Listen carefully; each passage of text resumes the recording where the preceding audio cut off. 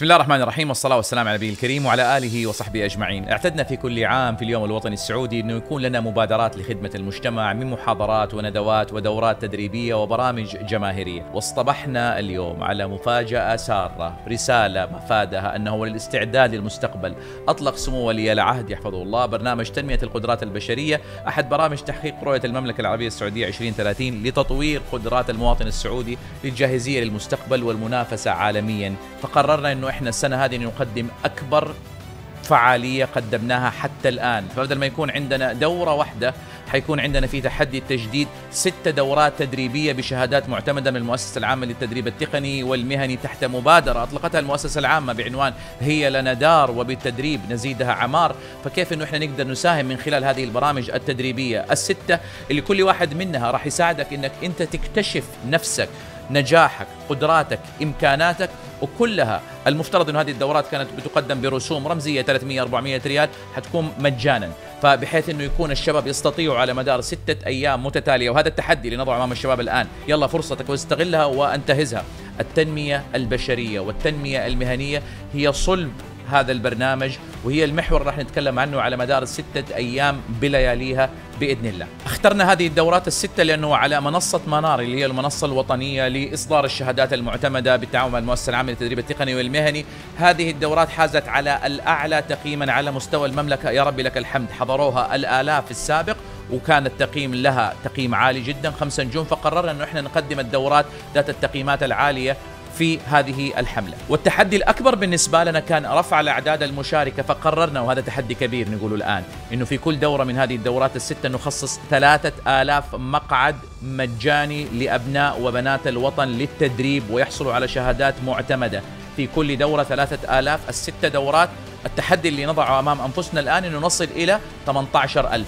وعشان نقدر نوصل لهذا الشيء حشدنا الطاقات والقدرات زودنا طاقة السيرفرات الاستيعابية حجم الفصول الافتراضية اللي ممكن أن إحنا نعملها. استعنا بعشرين مدرب ومدربة من المدربين المعتمدين المساعدين لنا لتنظيم هذه التظاهر وهذه الفعالية بحيث أنه إحنا نطلع فيها بأرقى جودة ممكنة. تم التعاقد مع شركات عالمية تقنية كيف أنه إحنا نقدر نوصل تدريب بأعلى جودة وبأفضل طريقة ممكنة وتوصل للشباب بطريقة تحفز الفعل الإيجابي بالنسبة لهم. وشعارنا كان إنه عندنا ثلاث أشياء لازم نعملها. تعليم ويكون في value قيمه عالية علمية ومعرفية.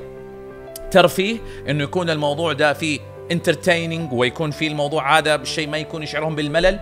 وانه يكون في empowerment اللي هو التمكين فتعليم وترفيه وتمكين لما نعطيهم أدوات تمكنهم للمنافسة في سوق العمل تمكنهم من إنهم هم يصنعوا بصمتهم ويبنوا مستقبل مشرق بإذن الله لهم ولأهلهم ولأحبابهم ولأصحابهم ولكل وكل المهمين في حياتهم بإذن الله. مش فقط دورات تدريبية مجانية أيضا قررنا أنه نعمل أكبر حملة تخفيضات على متجرنا، عندنا أكبر مكتبة إلكترونية في التنمية البشرية على مستوى الوطن العربي. يا ربي لك الحمد، فيها آلاف الساعات التدريبية، عدد هائل كبير جدا من البرامج التعليمية والبرامج التدريبية في مجال تنمية القدرات البشرية وتنمية القدرات المهنية، بحيث إنه يستمروا في رحلة التعلم مدى الحياة وما يكون الموضوع محصور فقط في برنامج تدريبي أو سلسلة برامج تدريبية ستة دورات سبعة دورات وأخذناها وانتهينا وراحوا بعد كده. نبغى التعلم اللي يستمر مدى الحياة إنه يكون عندك مكتبة إلكترونية زي نتفليكس ولكن للتنمية البشرية وتنمية الطاقات وتنمية القدرات. كيف إنك أنت تستثمر في ذاتك بحيث إنك أنت تتجدد بشكل مستمر.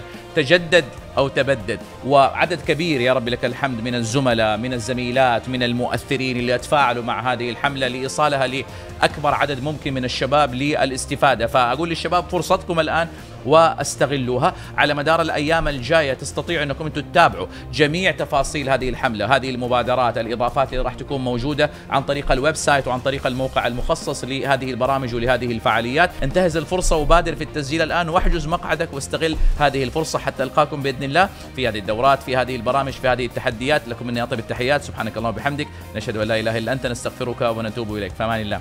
سلام. أعظم شيء تملكه السعودية للنجاح. مواطن سعودي. مواطن سعودي. ما في شك. يعني بدون مواطن سعودي لن نستطيع أن نحقق أي أي شيء من اللي حققناه.